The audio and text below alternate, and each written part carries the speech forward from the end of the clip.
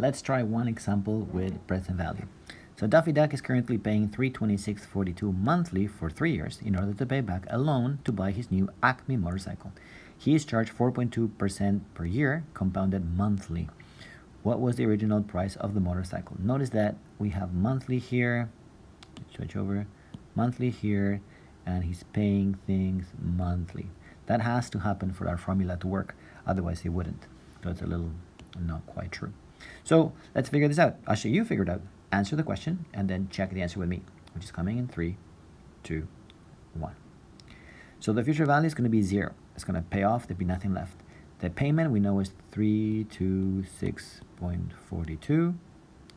And the interest rate is 0 0.042. But it's monthly. So I need to divide it by 12 because if they charge me that for a year, that's how much they would charge me for just one month. And it's the silly question, so we ask how many months are there in three years? And this would probably just come naturally to you say, oh, there's 36. Let's say 12 per year, three years at 36. And now we need to put the numbers in. I've already preloaded them in. And here's how, what should look like. 326.42, big open bracket, 1 minus, bracket 1 plus, 0.042 divided by 12 to the negative 36. Remember that that should be a negative. 36 divided by and make sure that you have those brackets when you plug in your calculator 0.042 divided by 12 so how do you plug this in? I would plug in the top part so I would start here. I would say 1 minus bracket 1 plus this divided by this close bracket to the negative 36 then I would press enter.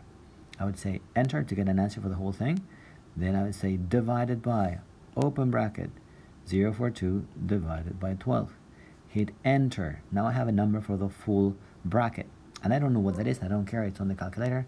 And finally I say, okay, now multiply it by 326 to give us an answer of 11,022 rounded to 0.85.